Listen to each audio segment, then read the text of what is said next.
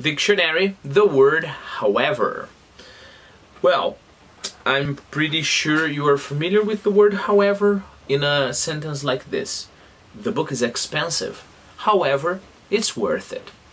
Reading uh, a book in English, unabridged, you know, uh, is a lot of work, however, it's worth it, just like that sentence, okay? Um, I can say something like, oh, I'll help you on Sunday. However, I won't, and then I say something, and you, you, you can imagine what kind of thing I would say. Well, fair enough, that's already settled. But take a look at this sentence here. Uh, I don't know if it's here, it's here. However much you spend, I will reimburse you. So it's a different meaning of however, right? So it means no matter how, you know, uh, it may be any extent, right? I remember uh, there was a, a model of uh, a brand of binder, you know, that was something like get there, however, you know. I remember I was young when I got that binder, I was like, however what?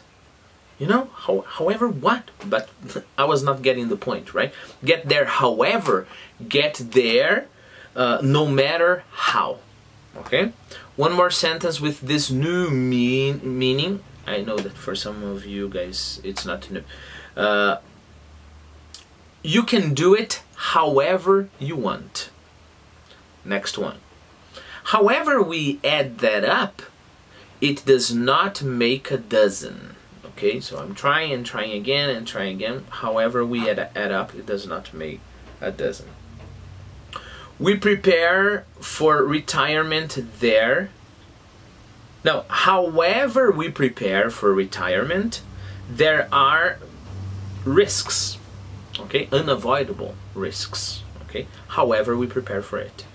Uh, just uh, the last one, the prospect of success, however remote, was tantalizing.